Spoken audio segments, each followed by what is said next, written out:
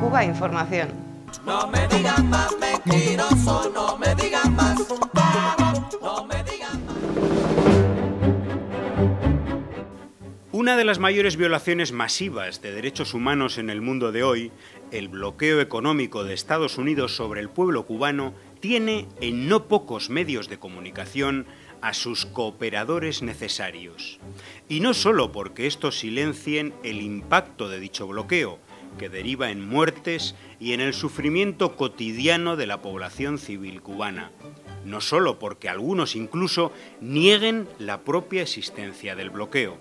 Hay medios que dan un paso más, participan activamente en el sistema de información y espionaje para que el gobierno de Estados Unidos lo aplique con mayor rigor.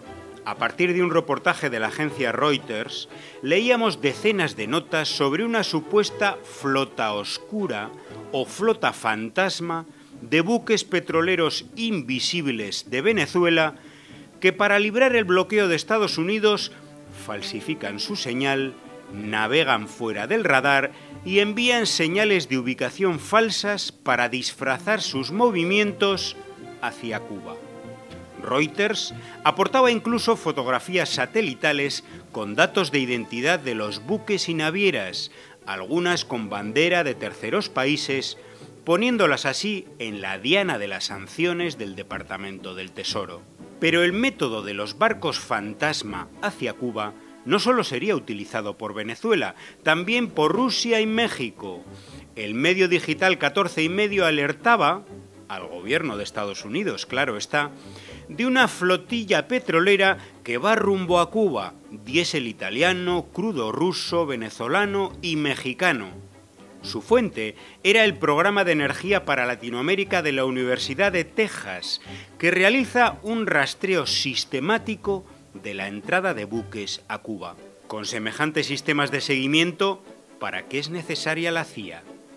Medios como Pan Am Post eran aún más explícitos en su colaboracionismo con el gobierno de Estados Unidos. La de los barcos fantasma, leemos, es una maniobra común entre regímenes totalitarios sancionados como los de Cuba y Venezuela, que se mueven entre las sombras debido a las sanciones internacionales que pesan sobre el castrismo. Ojo, que menciona unas sanciones internacionales a Cuba que no existen son medidas unilaterales de Estados Unidos, con impacto sin duda sobre terceros, pero que son condenadas cada año por toda la comunidad internacional de manera unánime en Naciones Unidas, salvo por Israel.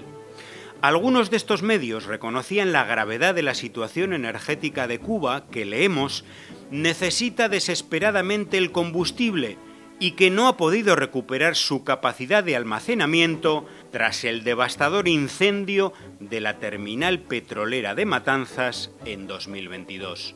Si la situación de Cuba es tan crítica, ¿a qué se debe esta labor de información al gobierno que impone el cerco económico y financiero que la genera?